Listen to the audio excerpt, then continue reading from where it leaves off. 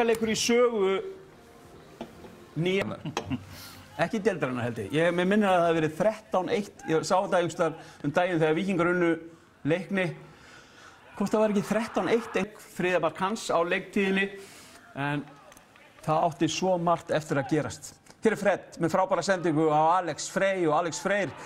Rennur um að undir Sindra á staðanorðin 1-1 jæmt þarna og þremyndum, rétt rúmum síðar. Guðmundur Magnússon var í sendinguna hérna, leikur á Sindra og kemur inn á hægri fótinn og rennur um í netið á Sindra sem að grýpur á öryggi. 34 myndur á klukkunni, hotspilna og hér skora keflingingar, þetta er Magnús í þessum leik og þannig var hún ekki lengi því að hér er Adamæði Pálsson með sendingun og Kian Williams hendi sér á þetta og skallar hann í netið í fórustu. En uh, hér er það hins vegar framar að jafna 3-3 á 40. mínútu. Men, því að hér eru á 40. annari. Hotspilna, Adamæði Pálsson inn á tegin og hér er það Dagur Ingi Valsson sem skorar fyrsta mark sitt. Inga fórum með 4-3 fórus. Boltan yfir veggin og yfir markið.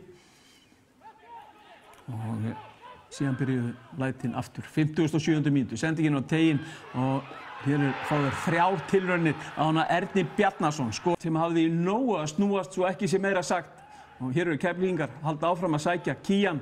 Ég laum hann bara í nær og uh, skorar hérna á Ólafi Ísólm. Framarar reyndu og reyndu. Þau finnst gaman að sækja, ekki hef gaman að verjast og Jannik Pólsson. En keflingar heldur nefnilega líka áfram að sækja. Bang og mark. Þetta er Adam. Engi Paradís en hann var þarna hjá keflingum því að Adam Æði Pálsson gerði síðan hér vinnaður boltan og boltin hér út til vinstri á Adam Æði sem hann rennur honum í nettið áttunda mark keflinga þjálfarnir í viðtölum hjá okkur fyrir leik spáðu því að þeir myndu vinna hann leik. Og